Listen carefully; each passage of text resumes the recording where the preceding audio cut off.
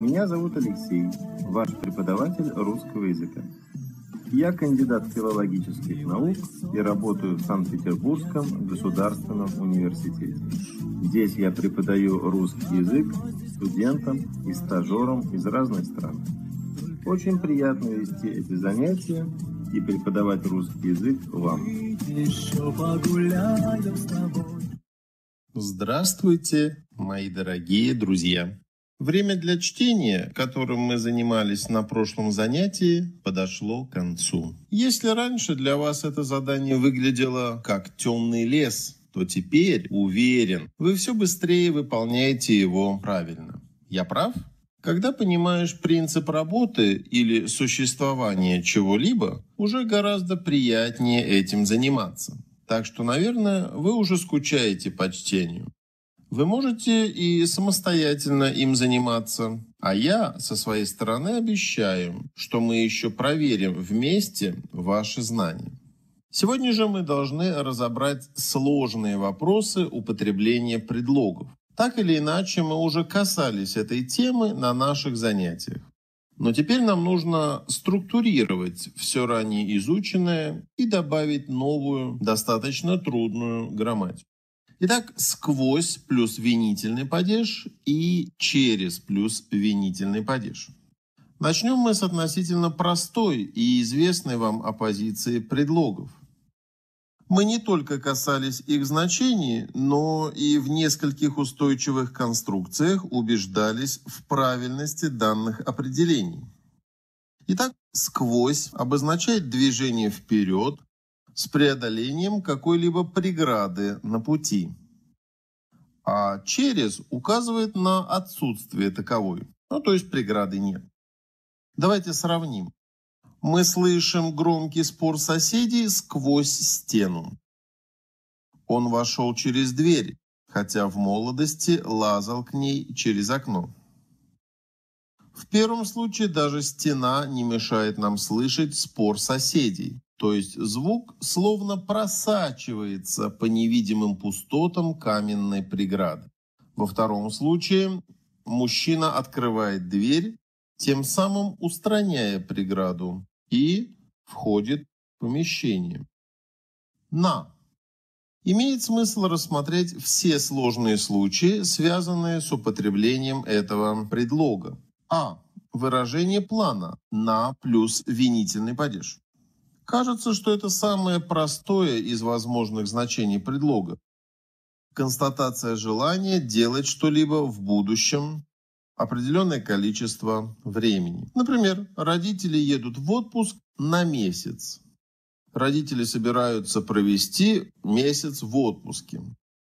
Тут все ясно, но стоит всегда иметь в виду, что употребление этого предлога в указанном значении возможно только после глаголов движения, желания или плана.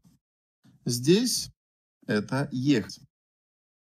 Б. Глагольная семантика. На плюс винительный падеж, на плюс предложный падеж.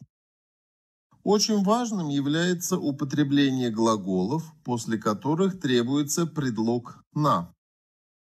Путаница возникает с падежом после него.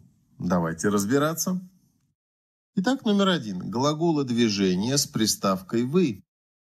Мы с вами хорошо знаем базовое противопоставление предлогов «в» и «на» с глаголами движения. В первом случае речь идет о движении внутрь, а во втором – на какое-то открытое пространство. Поверхность или с целью принятия участия в каком-либо событии. Да? Три значения предлога «на» мы знаем. Такая же разница между глаголами со значением состояния и мест. К сожалению, часто студенты забывают о том, что э, прибавляя приставку «вы», глаголы сохраняют свою основную семантику. На первое место выходит значение самого префикса, а потому предполагается, что с такими глаголами употребляется только предложно-падежная группа со значением «откуда».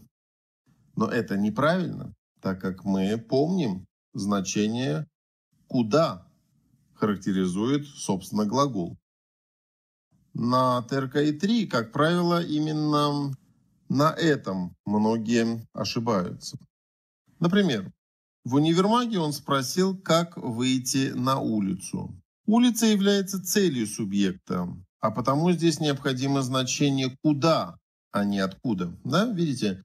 Здесь именно семантика глагола. Куда мы идем? Куда? Давайте определим ряд глаголов, которые могут ввести вас в заблуждение, часто встречаясь на ТРКИ-3.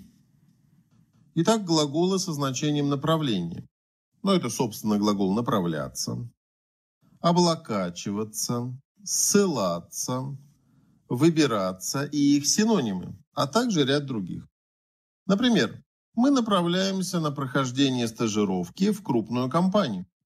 Гражданин, не надо облокачиваться на мое плечо. В своей работе вы ссылаетесь на известных ученых. Мне трудно выбраться на твой день рождения, так как работы по горло. Глаголы со значением плана и желания. Это глаголы «собираться», «планировать», «возлагать надежду», «делать ставку», «рассчитывать» и их синонимы, а также ряд других. Например, друзья собираются на пикник.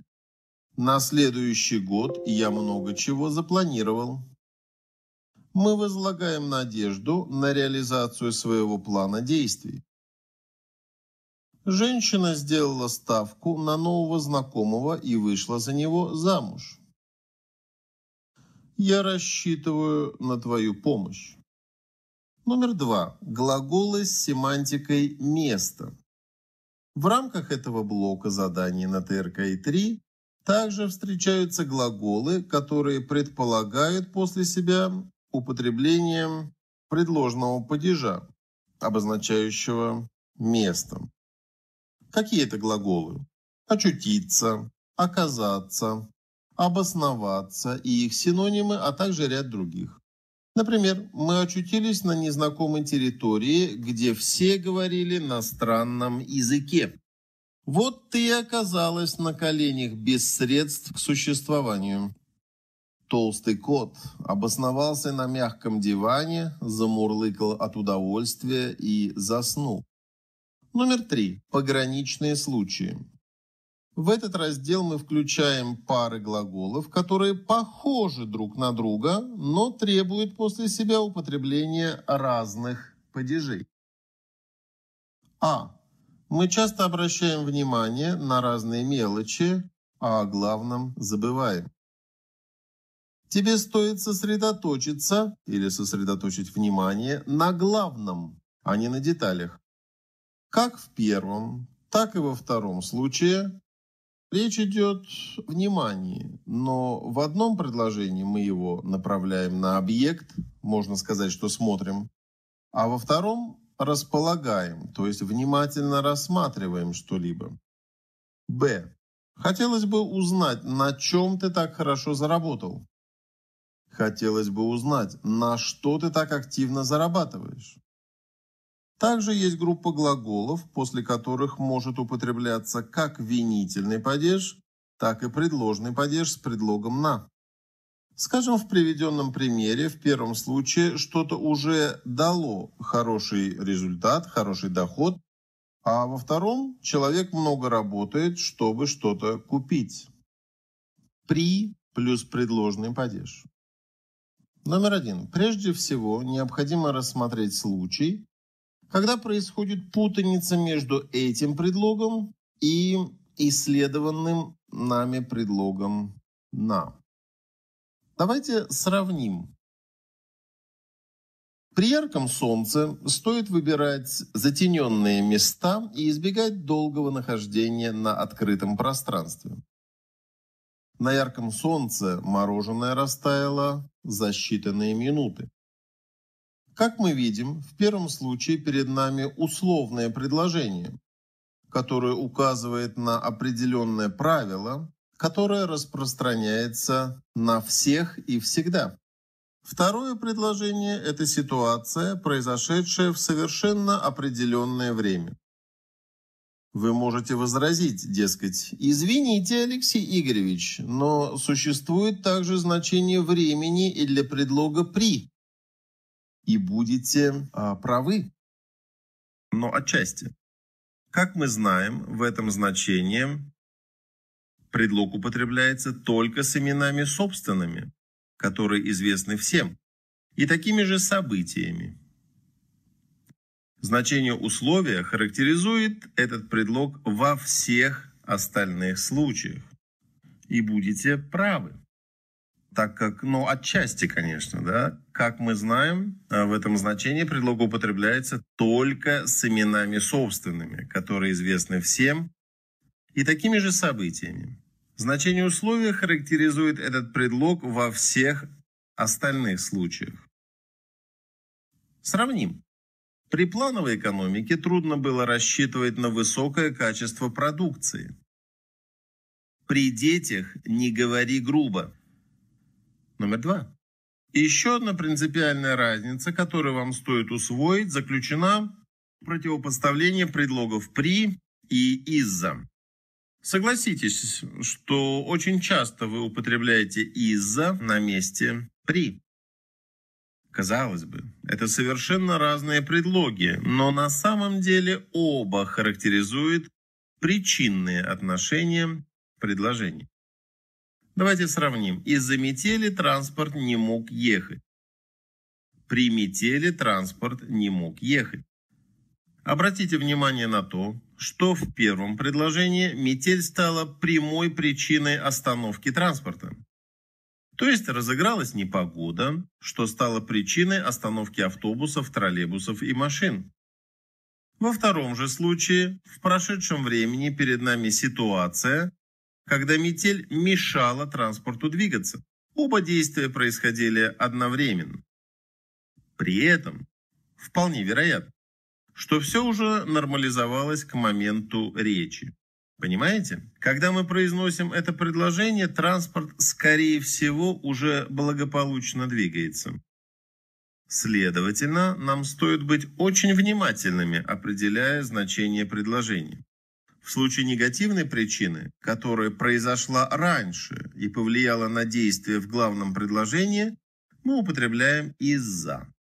А в случае условия глагол в несовершенном виде настоящего времени или одновременности действий, глагол прошедшего времени употребляем «при». Номер три. Значение обладания чем-либо, значимым. В данном случае нам нужно провести точную границу между S плюс творительный падеж, при плюс предложный падеж и V плюс предложный падеж, употребление которых может показаться достаточно похожим. Предлог S предполагает дополнительный признак, поэтому человек с пальто – это тот, кто несет эту часть одежды, а не носит ее, как в случае с предлогом «в». Наконец, при предполагает высокую цену или особый дорогой вид вещи. Общая идея также заключается в обладании чем-либо. Давайте сравним. Он был с курткой, которую только что купил в магазине. Он был в куртке, так как на улице накрапывало. Он был при куртке, которую с трудом достал через знакомых. Давайте посмотрим, Будем ли мы правы в своем выборе? И сделаем упражнение 1. Вставьте правильный предлог и употребите необходимый падеж. Номер один. Давайте отправимся в путешествие все лето, чтобы хорошо отдохнуть. Номер два. Такая температура, лучше отлежаться дома. Номер три. Как здорово увидеть друга, зонт, когда на улице ливень. Номер четыре. Только сейчас он понял, что очутился. Лесная поляна. Номер пять. Ветер дул. Одежда, а потому мурашки бежали по коже. Номер шесть. Путин. Экономическая ситуация в России стабилизировалась. Номер семь. Хорошо бы обосноваться эти гористые просторы. Номер восемь. Мы соберемся переезжать пара лет.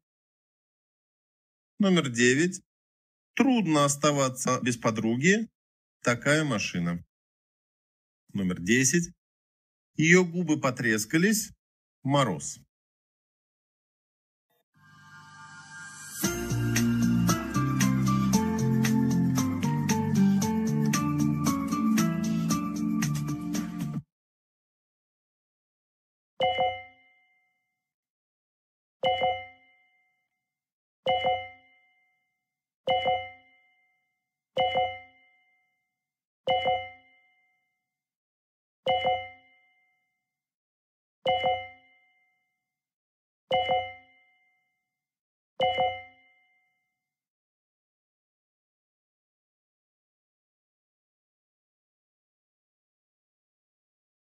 Во имя плюс родительный падеж, ради плюс родительный падеж, для плюс родительный падеж. Разница между этими предлогами очень зыбкая, потому что они, как правило, везде выступают в качестве синонимов. Самым простым видится отделить «для». Вы часто употребляете этот предлог, так как он во-первых, обычен в нейтральном стиле, во-вторых, описывает не только абстрактные понятия, но и простые бытовые ситуации. Например, он попросил вилку для салата. Очевидно, что в таком значении ни во имя, ни ради не употребляются. Что касается этих двух предлогов, то обозначим разницу так. Во имя описывает цель в абстрактных понятиях, не употребляясь в сочетании с конкретным человеком. А ради вполне может передавать целевое значение для любой группы существительных. Сравним. Во имя любви я готов на все. Ради Лены он изменился. Вопреки плюс дательный падеж, несмотря на плюс винительный падеж. Мы с вами касались этой темы, но всегда полезно закрепить изученное. Итак, вопреки употребляется с существительными, обозначающими действия человека или, собственно, самих людей.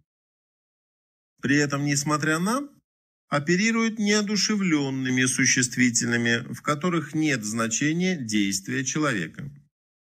Оба имеют синоним в сложном предложении. Хотя... Давайте сравним. Вопреки твоим желаниям я поступлю в университет на дизайнерское дело. Несмотря на все трудности, он смог добиться того, о чем мечтал.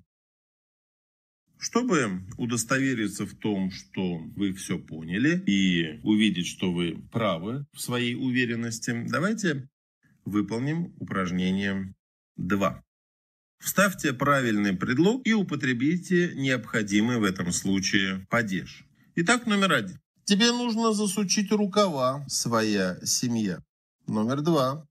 Такой особый человек. У нас есть специальное предложение. Три. Цена. Она купила огромный букет роз. Четыре. Давайте действовать козни недоброжелателей. Номер пять. Мир на земле, все мы живем и стараемся.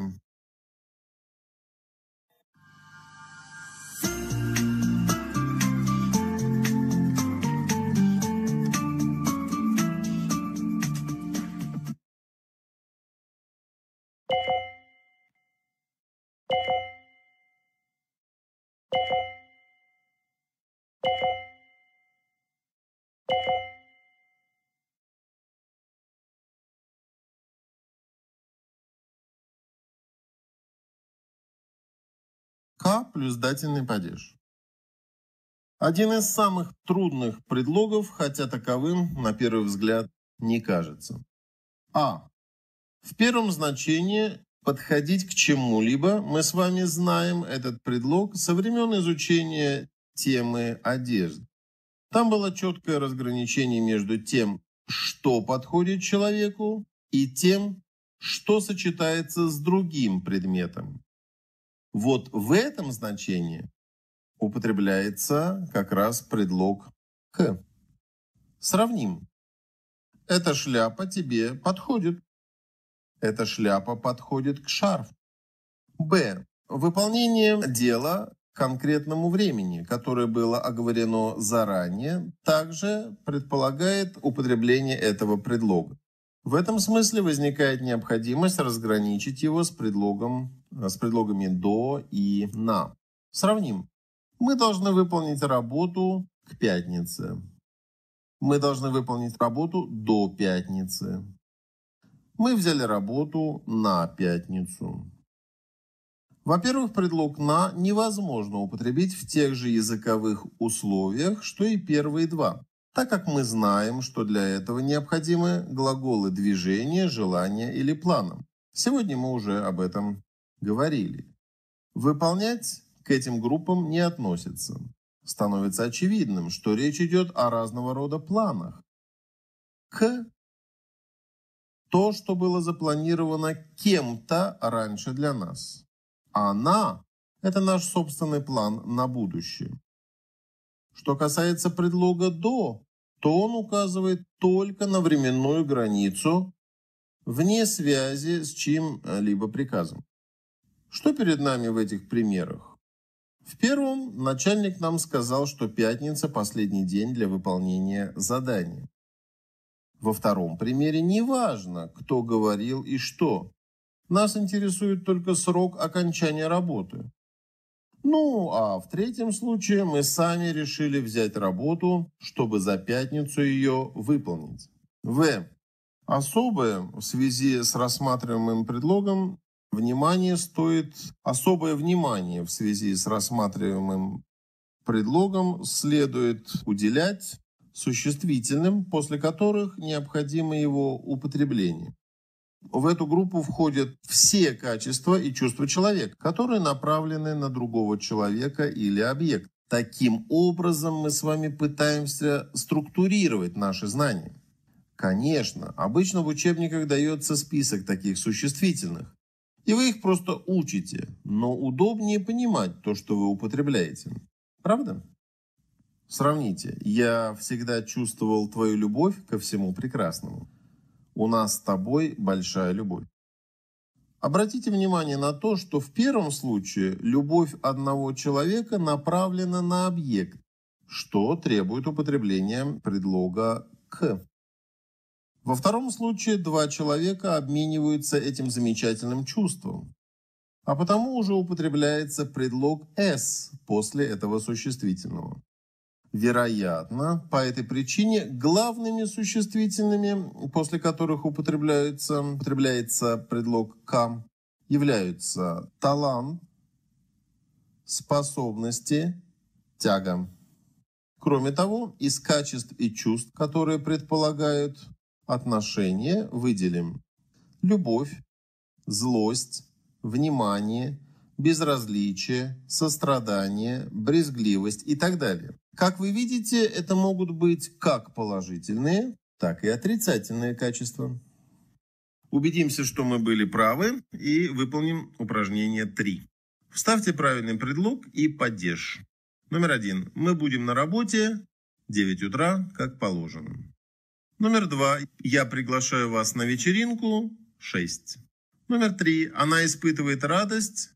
Встреча с нами. Номер 4. Ваш абонемент 10 посещений бассейна. Номер 5. 30 лет у мужчины должна быть хорошая работа. Номер 6. Способности Иры рисования проявились рано. Номер 7. Трудно не испытывать нежность, такие милые собачки. Номер 8. Испуг, твои слова у нее не скоро пройдет. Номер 9. Я собираюсь спать, полдень. Номер 10 – это юбка, туфли идеально подходит.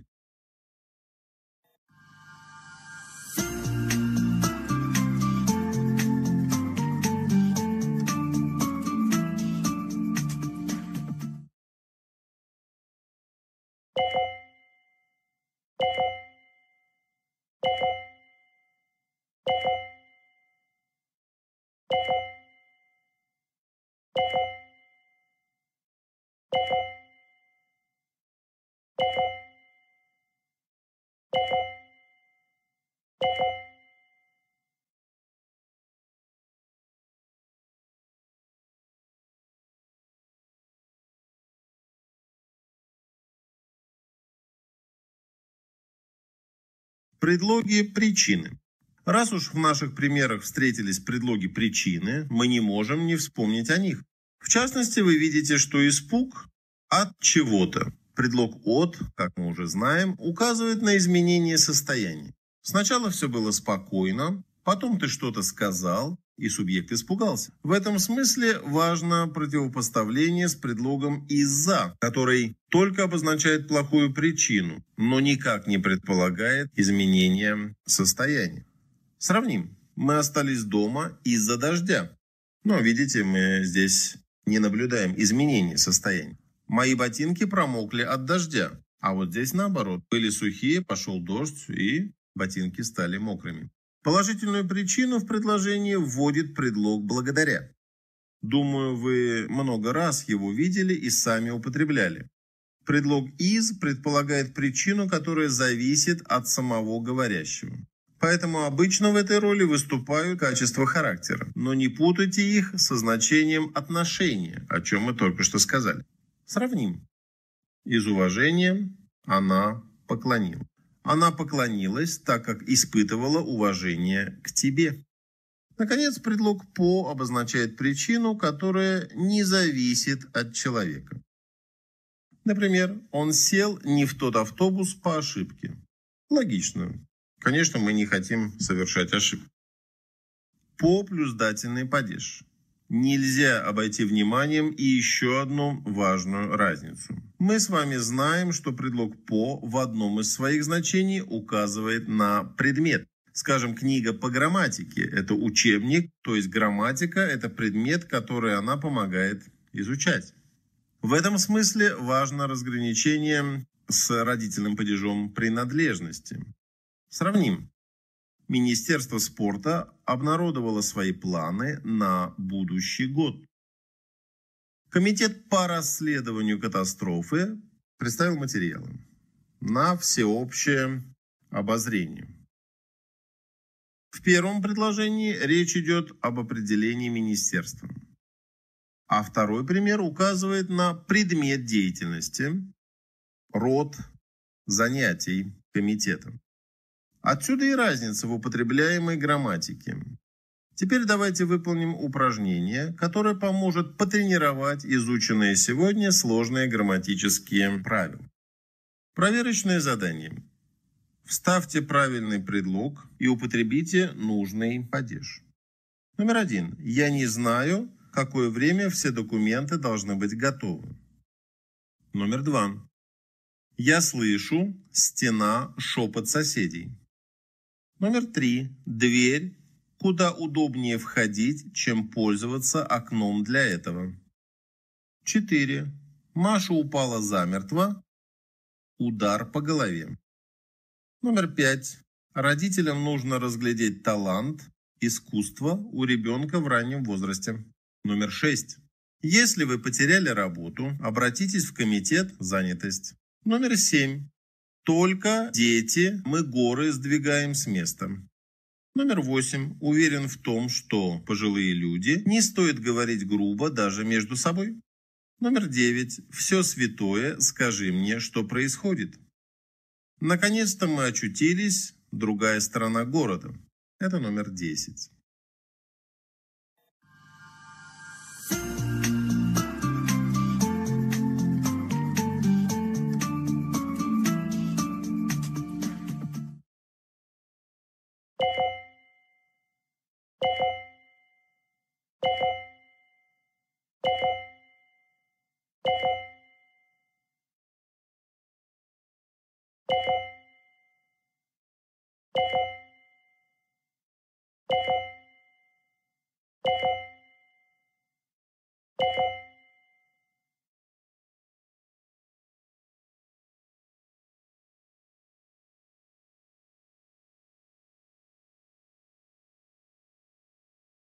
На этом мы закончим наше сегодняшнее занятие.